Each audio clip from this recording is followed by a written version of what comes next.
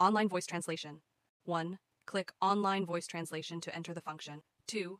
Select the source language and target language to be translated at the top. 3. Press and hold or tap the microphone button at the bottom and start speaking to translate. Hello, nice to meet you. 你好，很高兴认识你。你好，很高兴认识你。 Hello, nice to meet you. 4. You can also use text input to translate. Tap the keyboard at the bottom and input the text to be translated. 你好，You can switch the system language and settings in the menu at the top right corner of the interface. The system language can be switched to the language you are familiar with to use the app.